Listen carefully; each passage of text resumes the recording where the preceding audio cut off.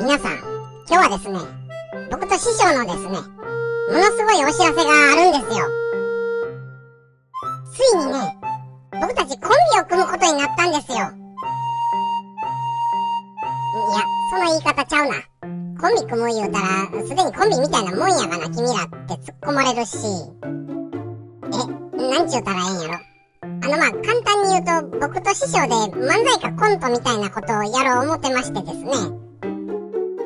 まあ要は僕と師匠の新しいチャンネルを作って今までとまた全然違う僕たちをね見てもらおう思うんですわ。で、おいこらおっさん。人が真面目な話しとんのにあくびすな。え、てか大丈夫か？あんなんとコンビ組んで。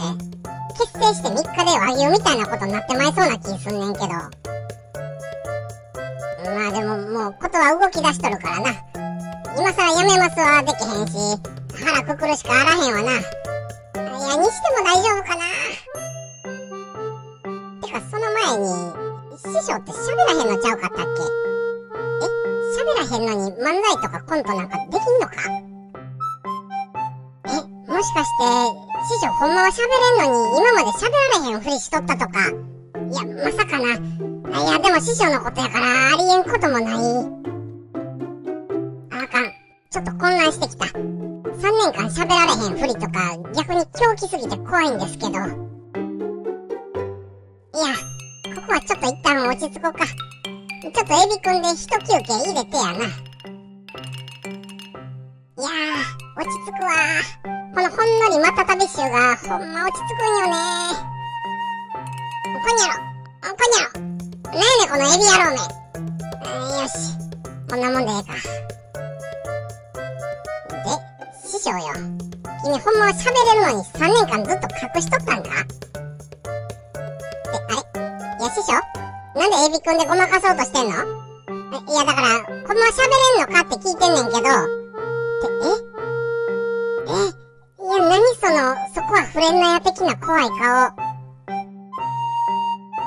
ん。これ以上この話突っ込んだら僕の命が何個あっても足りへんくなるやつやわ。ま、まあ、師匠が喋れるかどうかの話は置いといてやな。新しいチャンネルのお話をせんとやな。とりあえずまあ、現段階でお話できるのはですね、僕と師匠だけで漫才かコント的なことやるっちゅうのと、このチャンネルとは結構違う色になるっちゅうのと、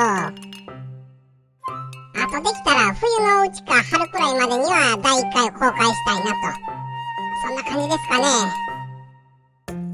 てか、ほんまに師匠大丈夫かな？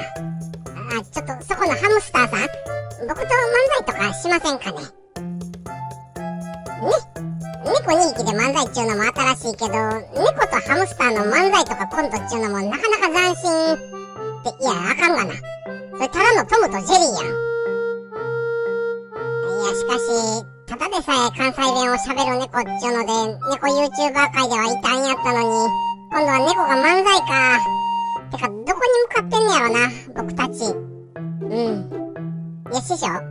別に今、カッコつけてカメラ目線するとこちゃうで。